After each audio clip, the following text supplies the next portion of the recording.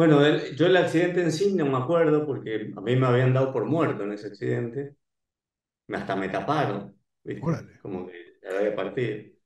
Así que yo no me acuerdo del accidente y después tengo una memoria selectiva de momentos y tuve conmoción cerebral, etcétera. Lamentablemente falleció nuestro jefe de prensa, Roberto Cirigliano, que él estaba viviendo en México, argentino, que de hecho él vivía en México y su vida en México era subvencionada por Soda Stereo y nosotros para, para, para no desaparecer de las radios, para que cada vez que fuéramos nosotros, o sea, para que las acciones que hacíamos cuando íbamos perduraran en el tiempo.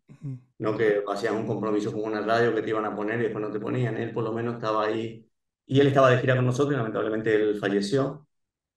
Eh, que eso fue en Saltillo, en el 89, ahí en, en la ruta de, a Monterrey por Saltillo.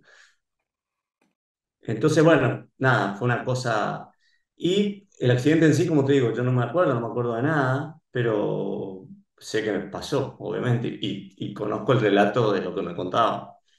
Y nada, fue una de las páginas negras de nuestra historia, pero que son parte de la historia y que, bueno, son esos momentos este, que ojalá nunca se, se vuelvan a repetir.